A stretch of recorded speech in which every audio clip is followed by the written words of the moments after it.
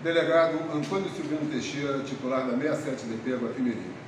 Esse fato teve início ontem, quinta-feira, na parte da tarde, quando o Cauã ia na garupa de uma motocicleta junto com um amigo e foram fechados por um veículo Fiat Uno.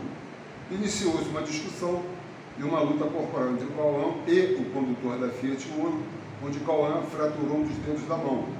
O condutor do carro jogou, derrubou a motocicleta do Cauã e o amigo do Cauã quebrou o vidro da Fiat Uno.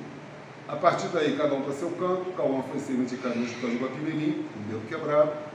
Saindo do hospital, ele foi até a oficina onde a moto dele estava e logo depois chegou o condutor da Fiat Uno, junto com o pai dele e um terceiro elemento, os três armados com barra de ferro e começaram a agredir o Cauã, que fraturou o braço, está em casa agora aguardando uma vaga para a operação. Os três autores já estão identificados, qualificados e estão sendo intimados agora de tarde para se prestar depoimento na segunda-feira da semana que vem.